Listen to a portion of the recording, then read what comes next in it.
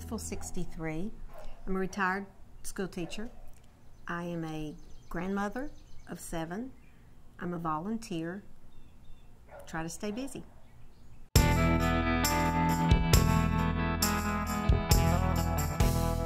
I my age every day. I, I get up, I try to exercise, I am with my family as much as I can be. I'm active, both mind and body.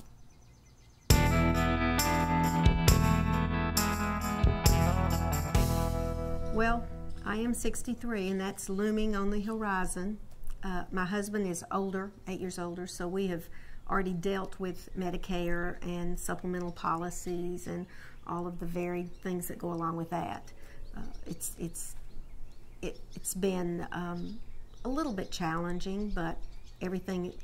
Luckily, he had excellent insurance before, so we were just able to kind of move into it.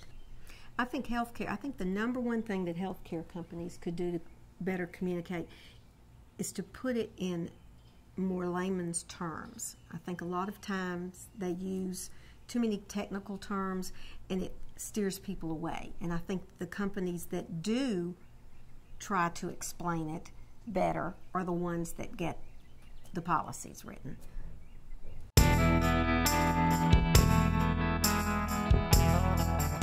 I really think marketing is, in this, right now, starting to gear itself a little bit more toward my age group. Um, I do think in the past it has been that way, but in the past, 50 was, yeah, time to end. Now we know that that's the new 30. So, see, I'm just 40. And in that respect, so I do think it's it's gearing a little bit more toward my age. I do think it has a ways to go. Uh, I don't think they realize that there's still a lot of active people, a lot of people traveling, a lot of people taking their families places. And as a travel agent, I've seen a little bit more of that in the new niche, uh, which is family travel. And it's the grandparents with the family travel. It's not just mom and dad taking the kids.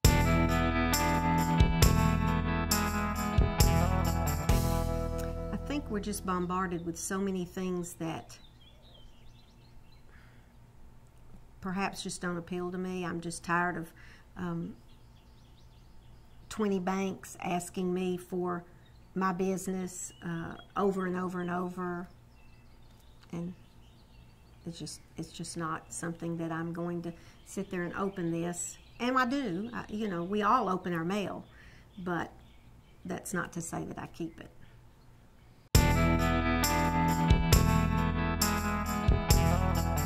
Do think the big focus is on the younger people. That is an absolute truth.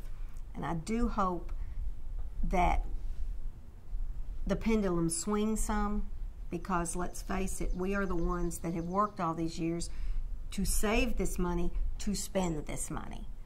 Um, I, I think, you know, when I look at advertising sometimes, magazines, whatever, I'm seeing the little 21 year old that's, you know, a size zero and they're advertising only for them. And I'm thinking, hey, let's move it on.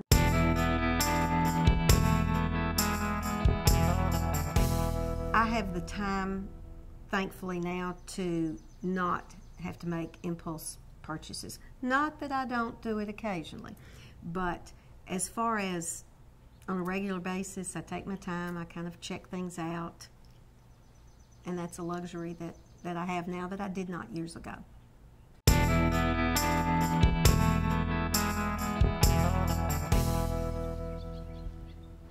I have in the past felt felt ignored. I, I, I feel like marketers still tend to gear toward younger people.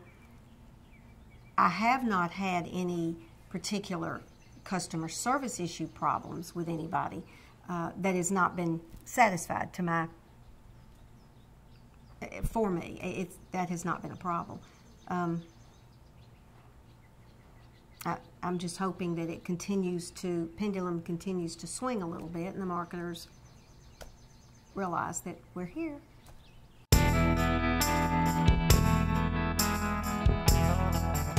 I think I would like for them to speak to me as if, yes, Beverly, we can help you at 63. Uh, our product can help you at 63. I mean, perhaps it can also help me in my 80s, but now is what I'm concerned about.